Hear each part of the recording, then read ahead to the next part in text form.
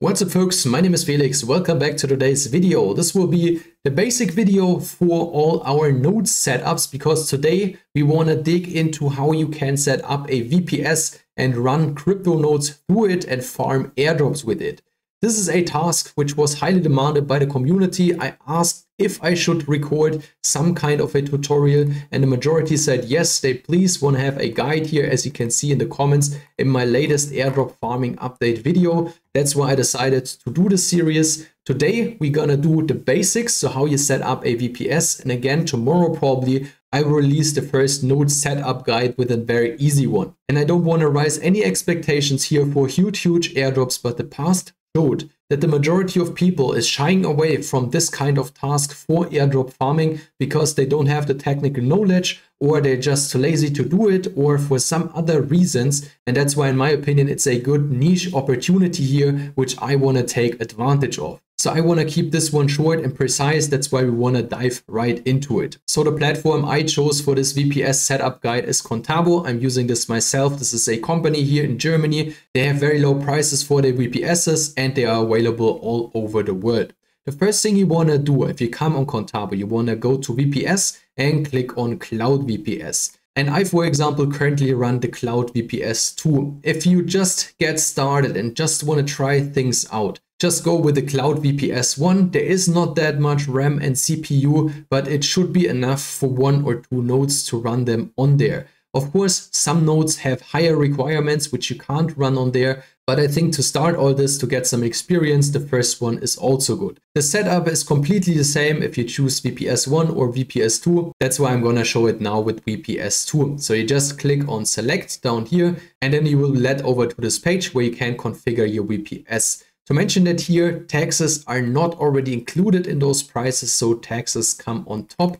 If you run your VPS for several months, I usually do the 12 month term, then it's much cheaper because you don't have to pay the setup fee. And I don't want to renew the subscription here every single month because my nodes run anyway because I want to earn daily rewards with, for example, my Xynode or all the other ones I've currently running. And usually if you're running a node for a testnet, you should do that for at least 6 to 12 months to see any rewards in the end, because it might be if you're just running it for a month that you are not in the snapshot period. For region, in this case, we just choose the European Union with the best latency. Then I always choose the biggest storage type, in this case 400 GB SSD, which is free. And then we want to come to image. In this case, we choose Ubuntu and you always go for the newest version. So in this case, it's Ubuntu 22.04. So we choose this one.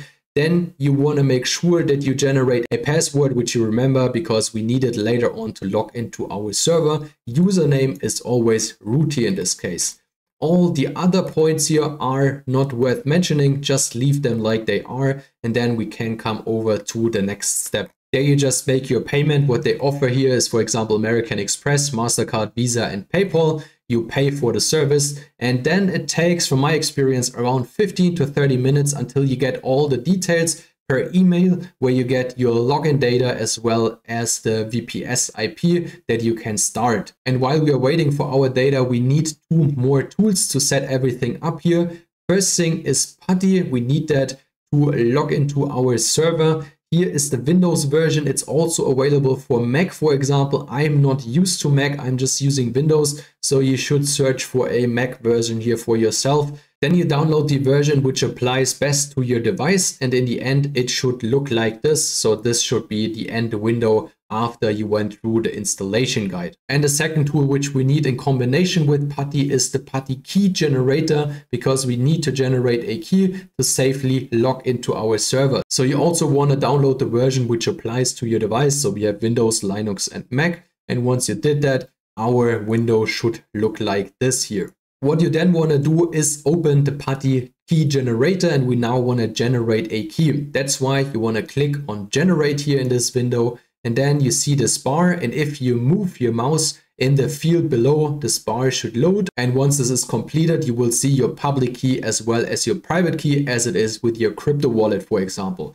Then you also want to choose a password here and save your public key as well as your private key in a folder on your computer because we need that to log in in a few moments. Then after you received all your data from the email from Contabo, you can log in with your username and also your password, which you receive per mail. And then you can just click on your services, which should be in your login area here. And only thing we need from here is this new generated IP address, which leads us over to our VPS. So you just copy this IP address here, and then you open up PuTTY again. What we want to do here now is just pasting in our IP address. We just copied from Contabo. Then you want to make sure port is at 22, which should be the standard, and you choose connection type SSH. Then you can, for example, save this data that when you log in next time, you don't have to copy and paste this IP address again from Contabo. Next thing you want to do is you want to click on SSH and extend this here. Then you want to go to Authenticator, also extend this here, and you want to click on Credentials. And then you click on Browse and search for the key we just generated with the PuTTY key generator. You need the private key here in this case. So you just add it in here and then we click on Open, which should give you this field here make this a little bit bigger. And what we want to do here is now logging into our server. So our username was again root. That's the same for every one of us. You just click on enter and then it asks you for your password, which you set up before when we were configuring our VPS. So not the password you set up for your PuTTY key generator. No, we need the password for our VPS. So you just type in the password here. And if you typed in your password correctly, it should show you this command. And that's where we're gonna start setting up our nodes in the next video. So that's it. That's all the steps which are required to setting up our nodes in the future. If you have questions, drop them below this video. To mention that here, I'm not an expert. I also teach that all to myself. Best way would be to jump into our community telegram group. And I'm sure there are a few people which can help you out with several issues you might have along the way. So if you don't want to miss out on those node setup videos in the upcoming days and weeks, feel free to hit the subscribe button. I release videos here on a daily basis. If you like today's one, feel free to hit the like button as well. And then we'll meet in next one. See you then.